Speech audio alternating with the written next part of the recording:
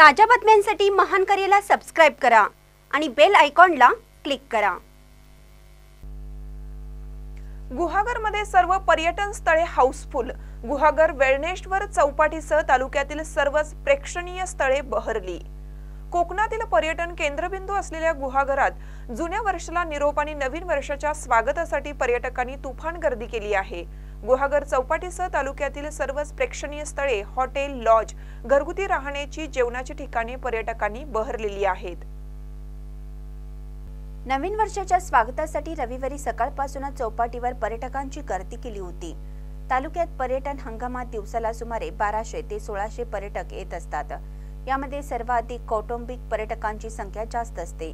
दरवर्षी पर्यटकांच्या या वाढलेल्या संख्येमुळे गुहागरतील पर्यटनाला गेल्या काही वर्षात चुकीचे दिवस आले.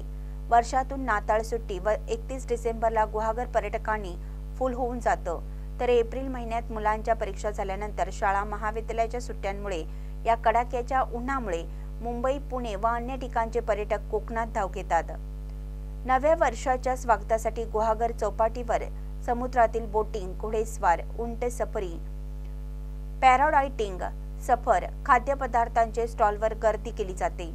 गुहागर वेळणेश्वर चौपाटीसह तालुक्यातील सर्वच प्रेक्षणीय स्थळे आणि हॉटेल लॉज घरगुती राहण्याची जेवणाची ठिकाणे पर्यटकांनी बहरलेली होती. किनाऱ्यावर काही ठिकाणी डीजे साऊंड सिस्टीमची व्यवस्था करण्यात आली होती. थंडीमुळे किनाऱ्यावर ठिकठिकाणी शेकोट्या पेटवण्यात आल्या होत्या. रात्री उशिरापर्यंत हॉटेल व घरगुती खानावळीमध्ये जेवणासाठी गर्दी दिसून येत होती. कोणतीही अनुचित घटना घडू नये व रात्रीच्या वेळी समुद्राच्या पाण्यात जाणार नाही याची काळजी पोलिसांनी घेतली होती. संपूर्ण पोलीस ग्राउंड वाहनांनी भरून गेलं होतं. महानकरी न्यूजसाठी विनोद चव्हाण गुहागर.